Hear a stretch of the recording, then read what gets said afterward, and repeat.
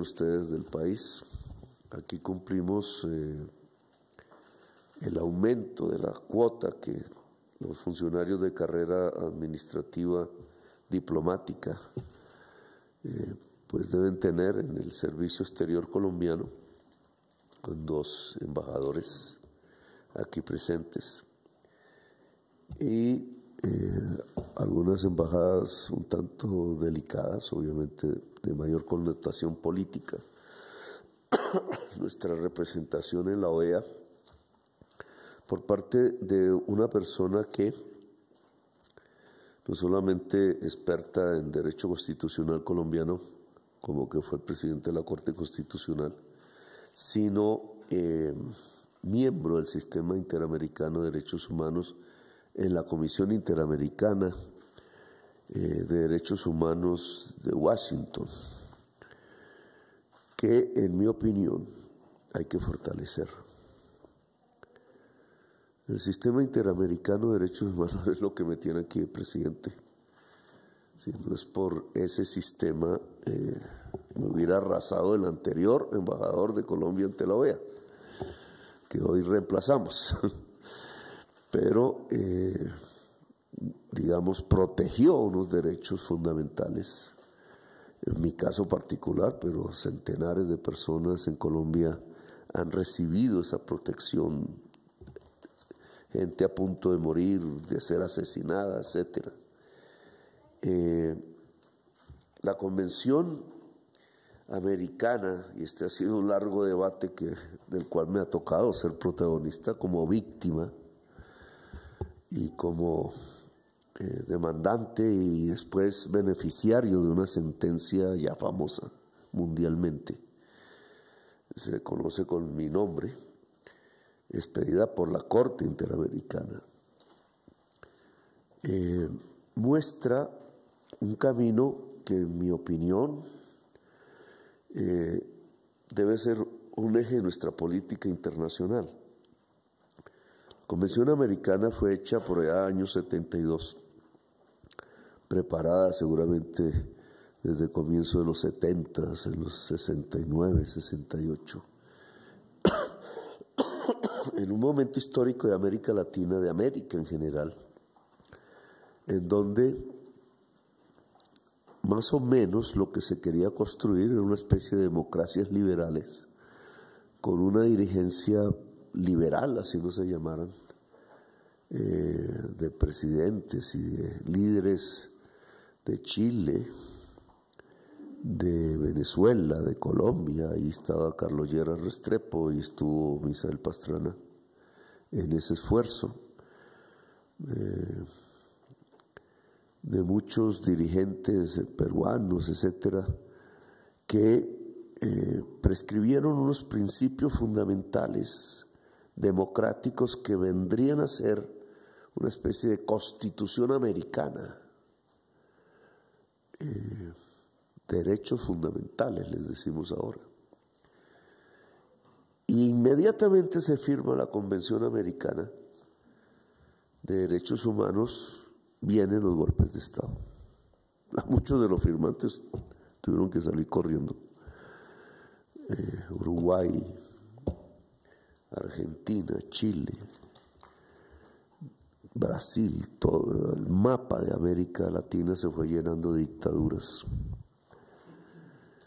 Eh, a partir del 11 de septiembre, no hace mucho, conmemoramos, de 1973, un poco antes Uruguay, Pinochet, que aún vive en América Latina. Y ahí se inició eh, una destrucción democrática. La reacción fue las armas. Ante el asesinato entre comillas, parece que de la elección popular de Salvador Allende, del liderazgo eh, de miles de personas que trabajaron con Allende, líderes populares, trabajadores, trabajadoras, miles de desaparecidos. Eh, después la muerte de Salvador Allende mismo. de Víctor Jara. El mensaje en América Latina es no es posible un cambio pacífico vía electoral. Quienes aplauden aún hoy desconociendo sus días están olvidando el mensaje central de la dictadura de Pinochet. No se puede cambiar ningún país pacíficamente. Y el mensaje fue respondido. Y entonces al lado de las dictaduras fueron apareciendo las revoluciones armadas. Centroamérica, Colombia, Chiapas, quizás la última, el sur de México. Y entonces el mapa se llenó de dictaduras y de insurgencias armadas. Colombia mezcló ambas. Y la Convención Americana fue a parar al sueño de los justos, olvidada. Y pasaron 30 años. Y en 1998 volvió a intentarse la idea de cambiar los países de América Latina pacíficamente. Y apareció lo que llaman la primavera latinoamericana, que aún no termina.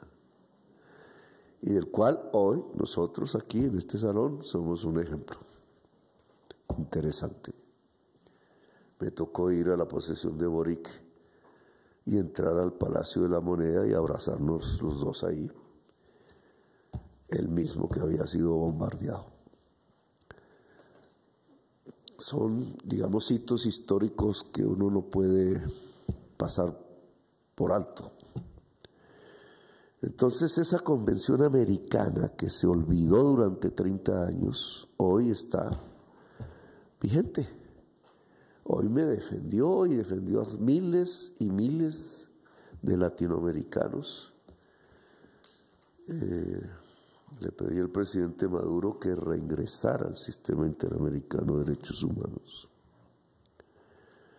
Hay que pedirle a Nicaragua que reingrese al sistema interamericano de derechos humanos. Son decisiones de ellos, obvios, no son nuestras, no las podemos imponer pero yo creo que la constitución democrática de América debe prevalecer, porque al final ganen derechas, ganen izquierdas o como se llamen. En el nuevo espectro político lo que debe prevalecer para protección de unos y de otros es que los derechos fundamentales se respetan.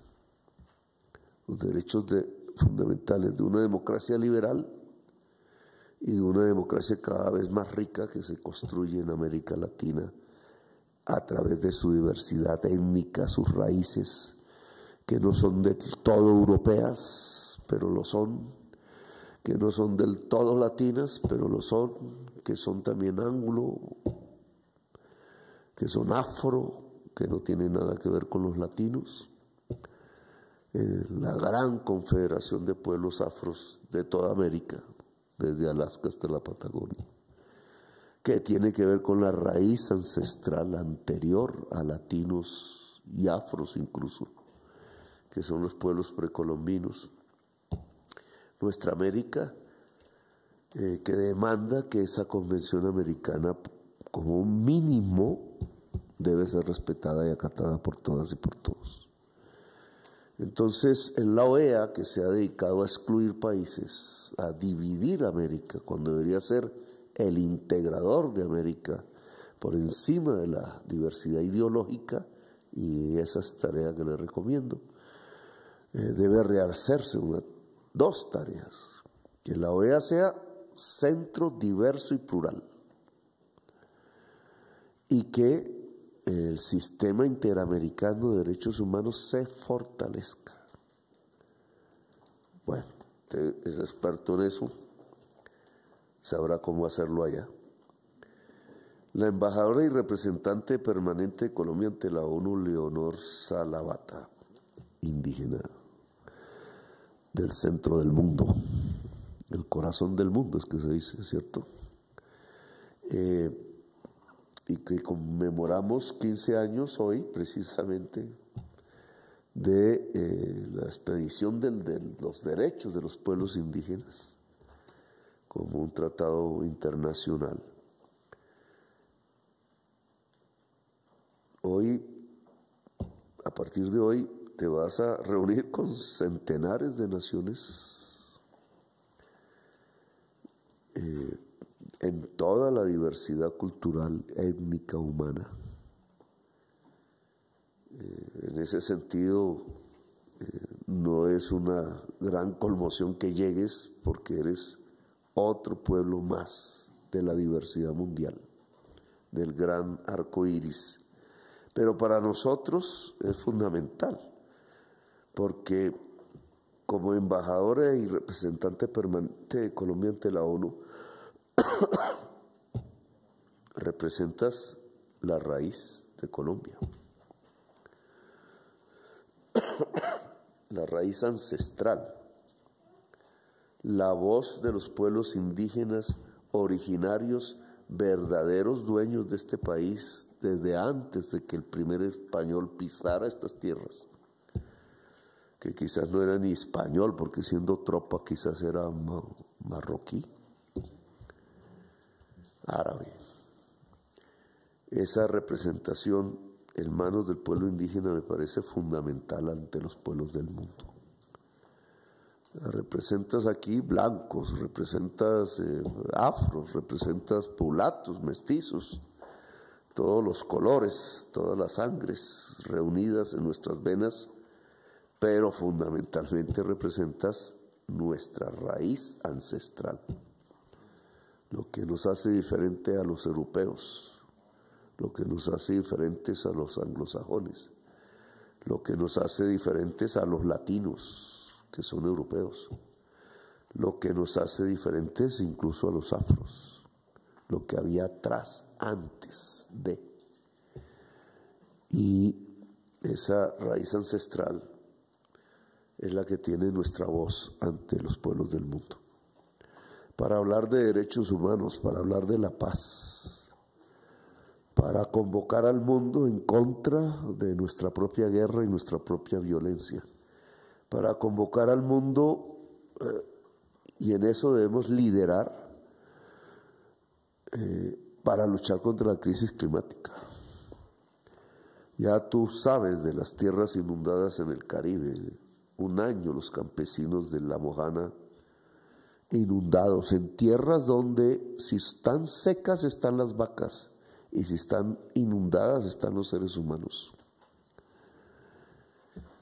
Con lo que puede pasar en toda la zona del canal del dique, con lo que está pasando en el San Jorge y en el Sinú, que se va a extender hacia las tierras del sur del Atlántico y del Magdalena y del Cesar y de la mismísima Guajira. Y desde ese centro corazón del mundo, que es la Sierra Nevada, eh, pues partes desde esos valles chéveres, bonitos, hermosos, desde tus pueblos de la sierra a representarnos en Nueva York. Quizás dejamos con la boca abierta un poco de gentes que piensan que esos cargos son para los viejos descendientes de los esclavistas, ahora es para los descendientes de los esclavos y de los siervos a los que condujeron a la fuerza a ese tipo de estado. Entonces nos va a representar bien Leonor y con sabiduría, a convocar al mundo a luchar contra su mayor problema, que es producto de entender el desarrollo matando la naturaleza la crisis climática. Ahora la crisis climática nos puede matar a todos nosotros. Es como una devolución de la naturaleza, del planeta. Eh, de Gaia, dice una filósofa, la venganza de Gaia sobre nosotros para intentar acabarla. Pero se trata de reequilibrarnos con el planeta, reequilibrarnos con la vida para sobrevivir en el planeta. Y los pueblos indígenas de América sí que saben enseñar eso. Le pueden enseñar a los premios Nobel de Economía eso. Le pueden enseñar a quienes han salido de Harvard y de MIT y de las mejores ciudades, universidades europeas, cómo es equilibrarse con la naturaleza. Lo que no aprendieron a hacer ellos, lo podemos enseñar nosotros, para que la humanidad pueda vivir en el planeta. Así que mira el trabajo que tienes por delante. Eh, el tema Nicaragua. Eh,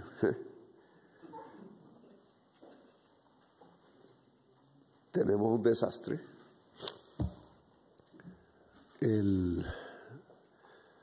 Toda esta eh, escuela de abogados ligados al poder en Bogotá fracasó. Fracasó estúpidamente. No puedo hablar mucho al respecto, pero eh, construir una estrategia bogotana para defender nuestro derecho marítimo alrededor de San Andrés y Providencia, que no es bogotana, que es raizal, que tiene que ver con otras culturas, derecho que ahí nace por otras razones diferentes a nuestra presencia bogotana, que tiene que ver con uno de los mayores desastres de la humanidad, que es la esclavitud. La traída forzada de pueblos afros a las islas antillanas, su vinculación con los pueblos anglosajones para quebrar el monopolio español, que funda una realidad cultural diferente a la de Bogotá, que llamamos nosotros raizales, pero que es el pueblo afro-anglófono en las Antillas Americanas, de las cuales San Andrés hace parte, como Jamaica, como la costa mosquitia nicaragüense, como Costa Rica en su costa pacífica, como Trinidad y Tobago, como varias islas, y que no se le ha dado el estatus cultural que merece que no pasa por romper soberanías nacionales, pero pasa por que se reconozca la existencia cultural de un pueblo afro-angrófono en las Antillas, de las cuales hace parte San Andrés y Providencia. Eso hay que dialogarlo ahora. La orden del Tribunal de La Haya por la estupidez de la defensa bogotana que desconoció ese tema, que no fue capaz de poner un abogado raizal, porque acostumbrados a los grandes contratos tenían que ser bogotanos, que no fue capaz de mirar la historia, que no fue capaz de mirar la cultura, que no fue capaz de mirar la diversidad, como aquí nosotros estamos reconociendo, nos llevó a la última derrota en términos de pérdida de soberanía. Ahora tenemos que dialogar con Nicaragua. Lo ordena el tribunal y hay que iniciar el diálogo. Restituir los derechos del pueblo raizal sobre el mar. Derechos de pesca, derechos de tránsito, derechos de comunicación libre. Ojalá la Confederación de Pueblos Afro-Anglofonos. Ojalá el pueblo sanandresano sin límite puede llegar a la costa mosquitia y el pueblo de la costa mosquitia llegar sin límite a San Andrés, como un libre fluir de los seres humanos de la misma etnia, de la misma cultura, de la misma lengua, de la misma hermandad, de sus lazos familiares. Igual que se rompió el círculo sanguíneo de familias que fueron quebrantadas por cerrar la frontera entre Colombia y Venezuela, desconociendo que venezolanos allá y colombianos acá de la frontera son familiares entre sí. Como en el caso Guayú, son la misma nación. En el caso eh, poco dicho por la prensa de San Andrés y la costa Mosquitia, y Jamaica y Trinidad y Tobago y Bélice y la costa pacífica costarricense ahí hay lazos familiares de siglos que están cortados por una estupidez diplomática, jurídica, que no se supo asumir. Esos lazos tienen que reconstruirse. Y el diálogo es lo que puede ahora lograrlo, así que esa es una función suya. Eh, después del desastre que los gobiernos pasados han presentado a la nación colombiana en ese tema. Bueno, la carrera diplomática aquí la estamos respetando, pues, cada vez hay que ampliarla más y más, como todas las sociedades lo hacen, digamos, las naciones importantes. Entonces tendremos más y más eh, cónsules y embajadores de la carrera diplomática. Eh, yo he pedido que los cónsules que ahora surgen, que son varios, son como 16, algo así en Venezuela, eh, sean de carrera. Quizás un, un debería estar en, Maracaibo. Pero en general, digamos, todos esos espacios deben ser llenados por cónsules y cónsulas, cónsules femeninas, embajadores, embajadoras de carrera. Entonces ustedes son una parte de ese esfuerzo. Así que ya he descubierto que ahí hay una serie de conocimientos acumulados perdidos que el gobierno de Colombia por estar nombrando a los hijos de la gente privilegiada de esta sociedad está perdiendo. Porque no se aprovecha esos conocimientos, esos estudios en el servicio exterior colombiano copado por gente que no tiene ningún mérito para estar allí. Bueno, gracias, muy amables por su presencia. Entonces, buen viento y buena mar.